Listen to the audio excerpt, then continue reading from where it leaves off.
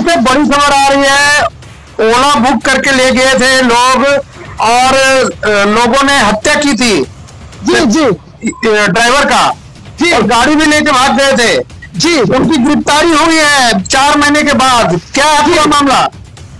जी देखिए विनोद जी, आपको बता दें, जमशेदपुर के एमजन थाना क्षेत्र का मामला है ये। एमजन थाना में आवेदन परिवार वालों ने दिया था। एक अगस्त को ओला बुक किया था दो लोगों ने और ओला ड्राइवर के साथ मारपीट किया गया चांडिल के जंगलों में और उसकी हत्या कर दिया गया था पत्थर से कुचल कर। और साथ ही साथ आपको बता दें, उस गाड़ी को भी लूट के लोग ले गए थे।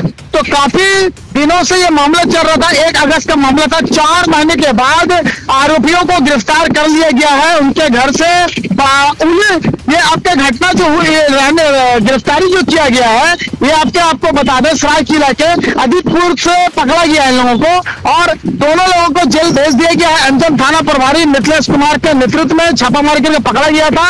अब ओला भी ओला गाड़ी भी बरामद हो गई है और साथ ही साथ दोनों आरोपियों को जेल भेज दिया गया है। जी। जी धन्यवाद जाहिद जी। खबर के लिए बने रहे जमशेदपुर से सोना ने जी। एक लगभग चार लगभग पाँच महीना पहले एक अगस्त को एक लड़का जिसका नाम था राहुल श्रीवास्तव जो ओला का कार अपने पास रखे हुए था ड्राइव करते कहीं उसी से रोजी रोज़गार करके काम करता किया करता था।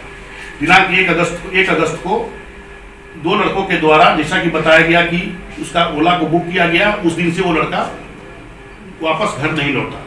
इस संबंध में एमडीएम थाना में दिनांक तीन तारीख को, तीन अगस्त को एक सनहा दर्ज किया गया था, उसकी माँ के लिखित आवेदन के आधार पर हम लोगों ने काफ़ी प्रयास किया, परंतु उस लड़के का कुछ पता नहीं चल सका। पुनः एक लगभग एक एक महीने के बाद उसके फादर के लिखित आवेदन पे हम लोगों ने कांड दर्ज किया 103 ओब्लिक इक्कीस, धारा तीन सौ थ्री सिक्सटी फाइव आई के अंतर्गत। कल, आज रात में रात्रि में गुप्त सूचना के आधार पर उस कांड के अनुसंधान के क्रम में अनुसंधानकर्ता के द्वारा कुछ सूचना, सूचनाएँ प्राप्त हुई, जिसके आधार पर हम लोगों ने दो लड़कों को गिरफ़्तार किया।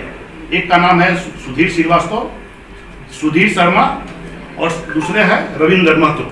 ये दोनों आदित्यपुर के रहने वाले हैं। इन दोनों ने के गिरफ़्तार करने पे पूछताछ क्रम में इन्होंने इन्होंने सारी कहानी पुलिस को बताई।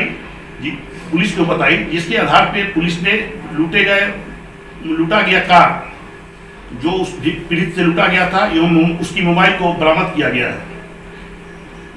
साथ ही इन लोगों के द्वारा बताया गया, गिरफ़्तार अभियुक्तों के द्वारा बताया गया कि दिनांक एक तारीख को, एक अगस्त को ये लोग कैब बुक करके चांदील डैम गए थे। पूर्व नियोजित कार्य के अनुसार, कार्यक्रम के अनुसार, और वहाँ जाके इन्होंने चालक के साथ ड्रिंक किया ड्रिंक साथ में किया और एक चांदी डैम के, किनारे एक ऊँची पहाड़ी पे ले जाके पत्थर से कुचल के उस व्यक्ति को मार इन लोगों ने मार के हत्या कर दी। हत्या के पश्चात उसके शव को वहीं छोड़ दिए।